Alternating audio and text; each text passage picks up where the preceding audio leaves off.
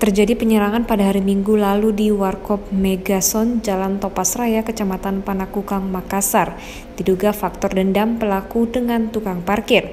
Penyerangan ini dibenarkan oleh Kapolsek Panakukang Resort Makassar, Kompol Jamal Fatur Rahman, di mana ia menyebutkan bahwa sebelumnya pelaku dengan tukang parkir Warkop terlibat perkelahian di salah satu kafe di Makassar.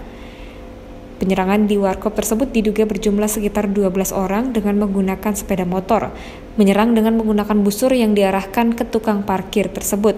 Pada saat aksi penyerangan berlangsung, kebetulan ada anggota polisi yang sedang berada tidak jauh dari lokasi kejadian. Anggota sigap bergerak untuk mengamankan situasi dengan menggunakan tembakan peringatan. Dalam rekaman video yang beredar, sekelompok pemuda ini tiba-tiba menyergap warkop. Satu dari komplotan pelaku tidak segan mengancam para pengunjung warkop.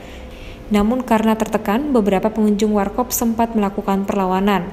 Tidak lama kemudian seorang pria berpakaian preman yang dalam rekaman video terlihat berlari dari arah warkop Sami yang berseberangan dengan warkop Megazone mencabut pistol dari bajunya, memberi sekali tembakan peringatan ke udara, membuat kelompok penyerang kaget.